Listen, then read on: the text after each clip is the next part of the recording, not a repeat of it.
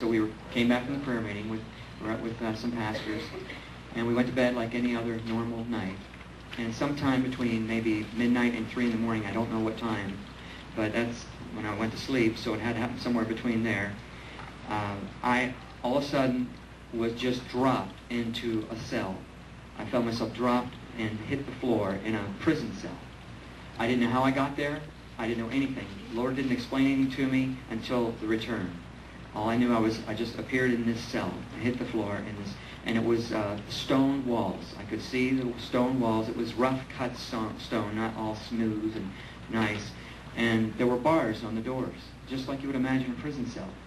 And I thought, where am I? And I, I knew I was me. I looked just like me. I had a body. And in Matthew 10, 28, it says, fear him which is able to cast the soul and the body into hell. So you do have a body. And it looks like you do now. And uh, I looked at myself and I was laying on the floor. And the first thing I noticed was I didn't have any strength in my body at all. No strength. I, it was as if I didn't have any muscle. I could hardly move. And I thought, what is wrong with my body? I noticed that right away because my wife and I like to work out and eat right and take care of ourselves. So that bothered me that there was no strength at all. And uh, it was terrible. And I looked and I saw these two huge creatures.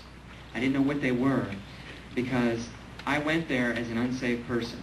The Lord kept it from my mind that I was a Christian somehow. He just kept it out of my mind. I don't I didn't understand it then, but he explained it on the way back and I'll get to that. But I was there as someone unsaved. I didn't know what they were. They were huge, enormous, ugly, terrifying creatures. Uh, worse than anything you can really describe. But to try to describe them, one we'll see in a video that we'll show you. That's a pretty accurate uh, description, but they were um, very reptilish. One was real scales and bumps all over its body. It was about 12 or 13 feet tall and enormous. It was out of proportion. Its feet were real big, and it had this huge head with uh, a protruding jaw with big teeth and eyes sunken way back in its sockets, big eyes, and like slime dripping from its mouth. It was gross, horrible looking thing. And they were cursing God. I, I didn't, couldn't understand totally what they were saying, but they were just blaspheming God, cursing God. And they had such a hatred in them for God, is what I felt and heard. And I thought, what are these creatures? I didn't know there were demons yet. I didn't realize. I didn't realize exactly where I was yet. And but then I noticed uh, also the heat. It was incredibly hot in this cell. Uh, just beyond anything. I knew this heat, I should be dead. Why am I alive living through this heat? But I didn't die. And that amazed me that I could live through it. This one demon grabbed me and picked me up and threw me into the wall like I was a glass, that light. Just the strength of the demons. I also knew that they had a thousand times the strength of a man. So even if I had strength, you couldn't fight them off. But you didn't even have the pleasure of trying to fight them off because you didn't have any strength. So it's awful when you feel like you can't even fight back. And it threw me in the wall, and I felt every bone in my body break. And I thought again, well, I'm dead now, for sure. And I felt the pain. I do believe the Lord masked the pain. I didn't feel all of it, but I did feel the pain enough to where I was screaming and begging for mercy from these creatures. And the more I begged, the more they enjoyed. They wanted to do more tortures. And the other one grabbed me the other one was real, had like razor sharp dorsal fins or something all over its body, its limbs. And again, its limbs and everything was out of proportion and about 12 or 13 feet tall, huge, and just grabbed me with its claws and just tore my flesh right off, ripped it right off. And I looked and I thought, oh my gosh, my flesh is gone. And the, there was no blood and no water. I noticed right away. It was just dry flesh. And about maybe seemed like 30 seconds later, the flesh started coming back on. It just came back, and I looked like, what is this? This flesh is growing back. And it came on, so they grabbed it and ripped me the flesh off again. And I knew, I thought, they can do this forever. Forever, they can do this to me. And, and you wanted to die right then. The pain was terrible, and I was begging for mercy. But they don't have any mercy. There is absolutely no mercy with these creatures. They talked amongst themselves about what they were going to do next to me. And the one grabbed my arm and just yanked it right off, pulled it off. And I'm screaming, and I'm so upset too because, you know, you're thinking all the thoughts. You have your full memory in hell. And I'm thinking how hard we worked in life to take care of ourselves and eat right and work out and just take care of yourself. And these creatures had absolutely no respect for the body at all. And they just destroyed it. There's a scripture that talks about that you'll go down into everlasting destruction. They're constantly destroying the body because they hate it. And I didn't understand why they hated me with such an intense hatred. I thought, what have I done to these things? I haven't done anything. And but they hated me with a hatred like you can you can't get on earth. You know, you've heard of men that hate and kill and do horrible things, but nothing like this. These creatures hate you intensely. And I was I, I noticed how I was so thirsty. I wanted a drop of water, just one drop, and there wasn't any water. I noticed there was no water anywhere. Uh, there was no the atmosphere. The air is so dry because there's no humidity. There's no water in hell. So you're you're so thirsty. Just one drop of water would be so wonderful to have, but you don't get it. There actually were four demons in the cell, but I didn't see the other two. I knew there were four and that they were assigned to me to torture and torment me forever. For as long as you're in hell, they would be there to torture you. They were assigned. And then I was in a holding cell of some kind. I wasn't in the permanent place that I would be, but just this temporary place. And I, I just didn't see the other two. It, was, it, it got dark after about 30 seconds. That's all it was light for. And then the light went out. It was as if the Lord left.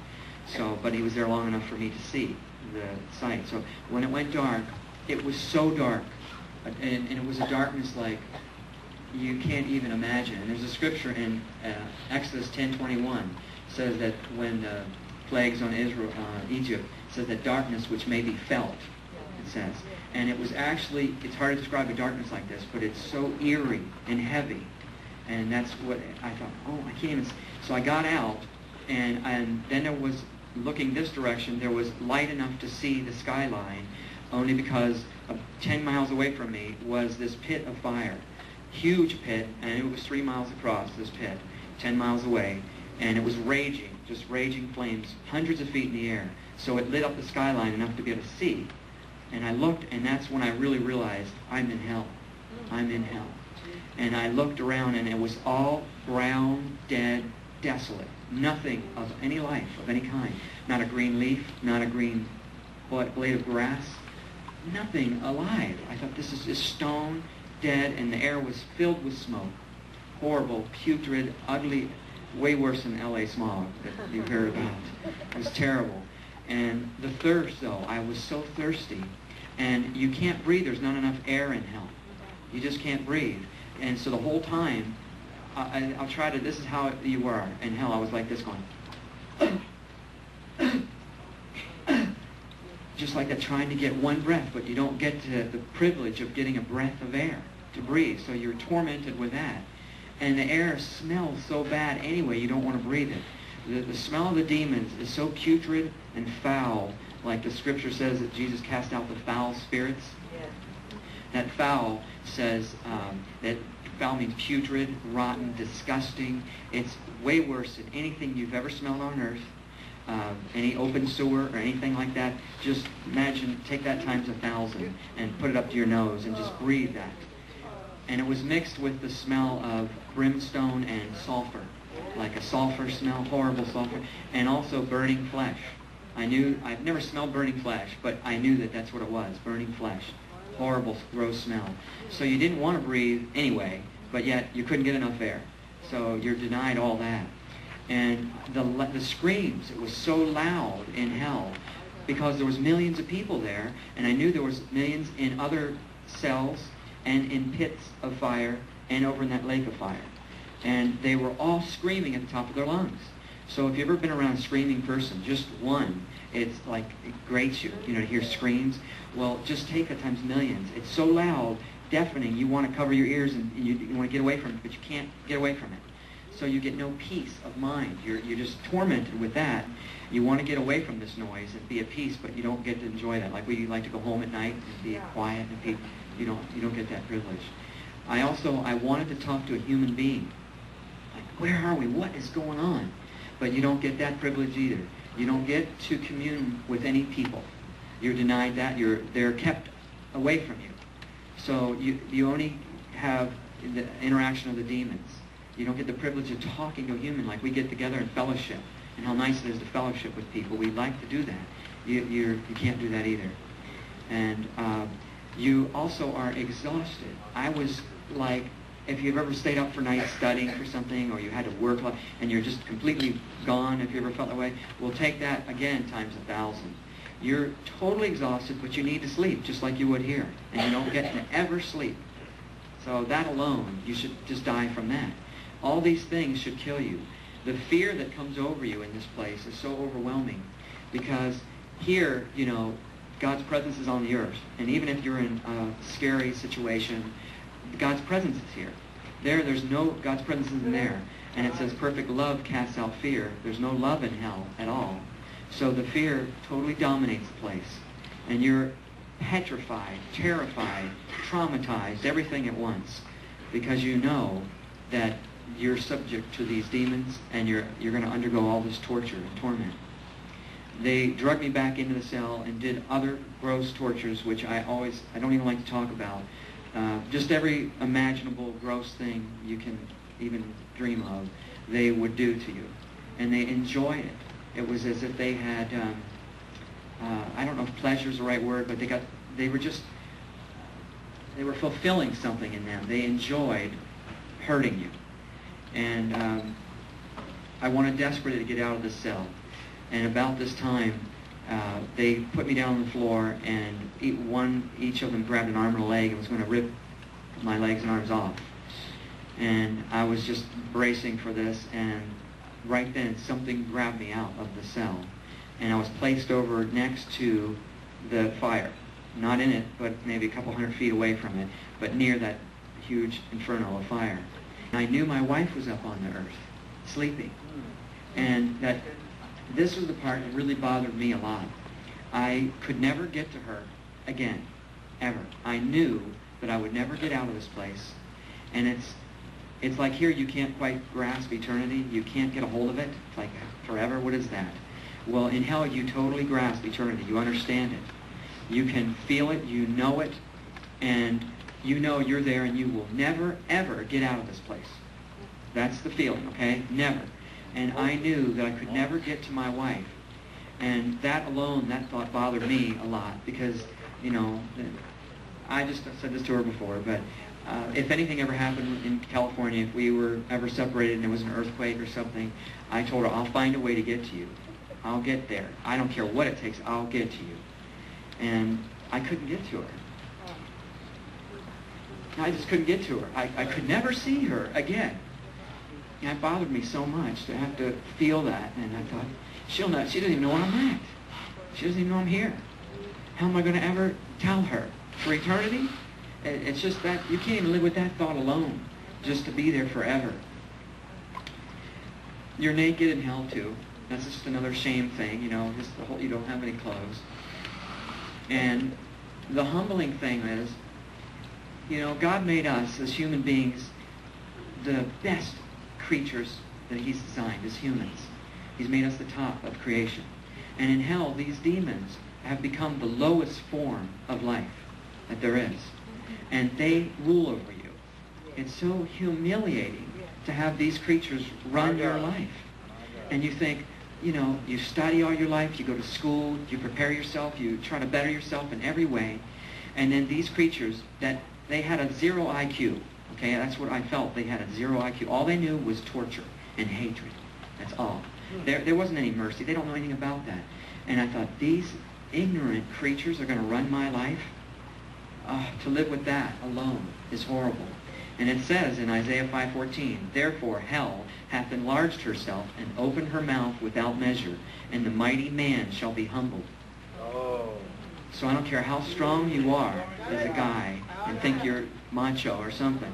Uh, you're nothing in hell. You're hopelessly lost forever.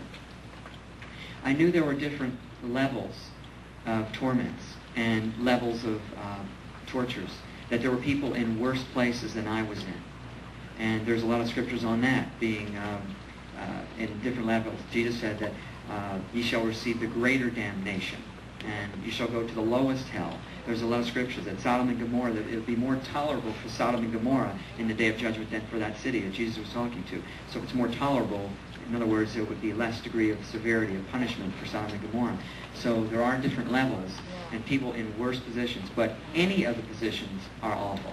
Anywhere. The whole place is horrible. I, it's just a, you know, here we enjoy all the nice things. We get to uh, breathe the fresh air and the sunshine and all the things we take for granted. And many people, they don't want to have anything to do with God, but they enjoy all these nice things. They don't realize that if you take God out of the situation, remove God, the good goes with him. See, all good things, in James 1.17 says, every good and perfect gift comes from above. So when you remove God, the good gifts go with him. And hell is, there's no presence of the Lord there at all.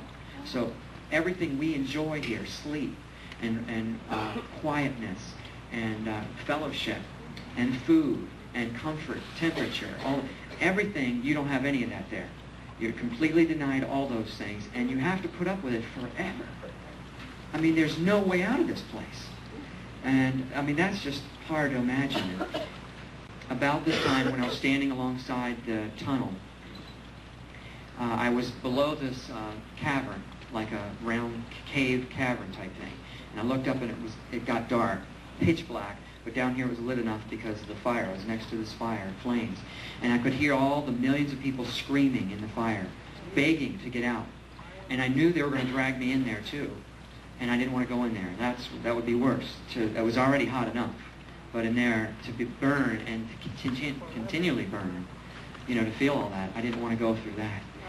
But all around this, um, the walls of this cavern were all kinds of demons. Every shape and size of demon were like, and I looked around and it was as if they were chained to the walls. I didn't see the chains, but I felt they were attached or chained to the walls, which didn't make sense, but there are scriptures on that too.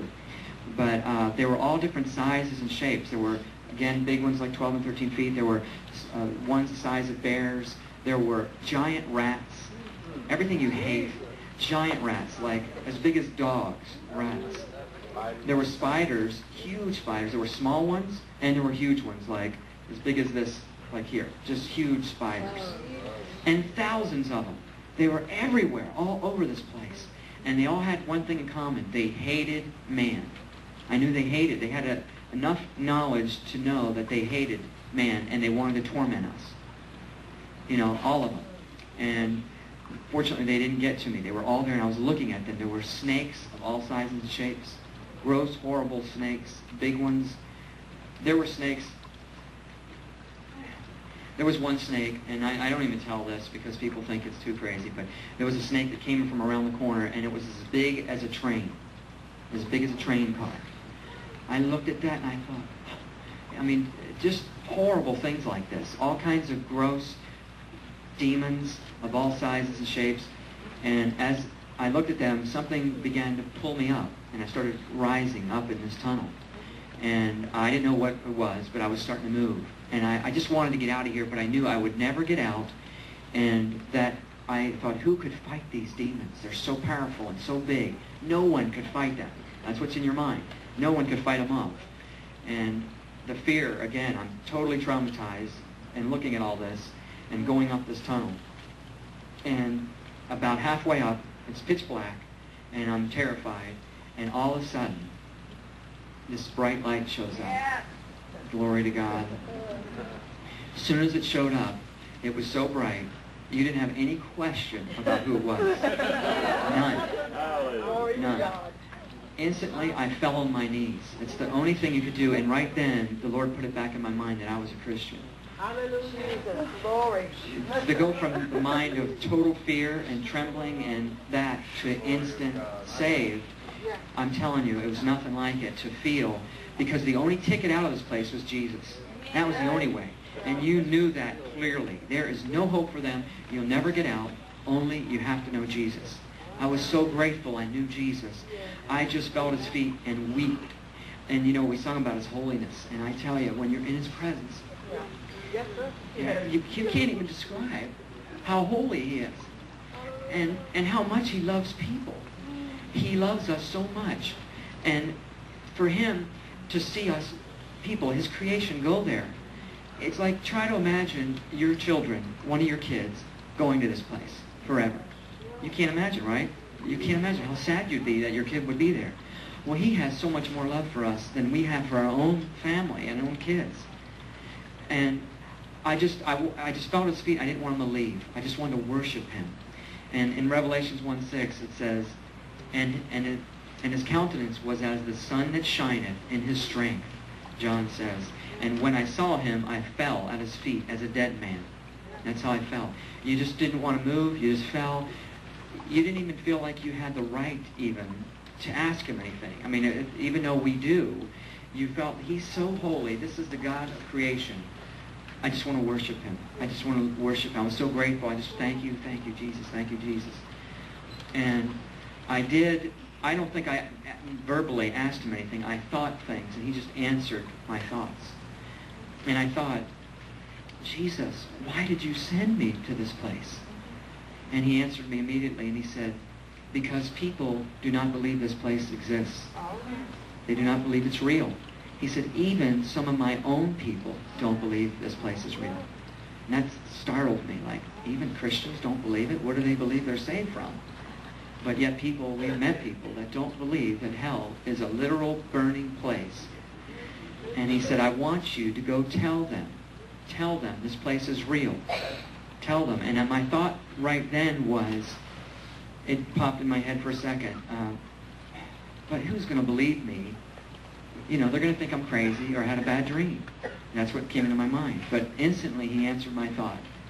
And he said, it's not your job to convict their hearts. It's the Holy Spirit's. He said, it's your job to just tell them. Tell them. I'll convict their hearts. Well, right away, instantly, it was like, yes, sir. I, I, you didn't want to even, it was, oh yeah, you're right, you're right. That's, that's the Holy Spirit's job. So that thought leaves when you're in His presence. You just, there's a boldness like, I've got to tell Him. I've got to tell Him. I, I have the answer. These people are going there unless we go out and tell them. And I, I said, Lord, why did you pick me? Why did you have me go here? But he didn't answer me. He didn't tell me. He didn't give me an answer. Why? And I didn't want to bug him about it. I just wanted to worship him and, and not have him go away. It's like, don't leave. Don't ever leave. Please don't leave. And also, look, I couldn't see him physically. I could just see the bright light and an outline of a man, the shape of a man. Because it's so bright, you can't really see him. And I just looked in this bright light, so bright and white light, different than light we see. You know when you see these cars that have the headlights that are the new laser headlights and it's more white? Well, it's you got to go that direction. It's so white and pure and holy.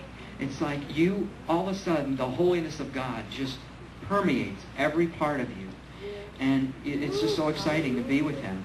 Uh, you, I picked up on his power, his awesome power. It's, the Bible talks about he has infinite power.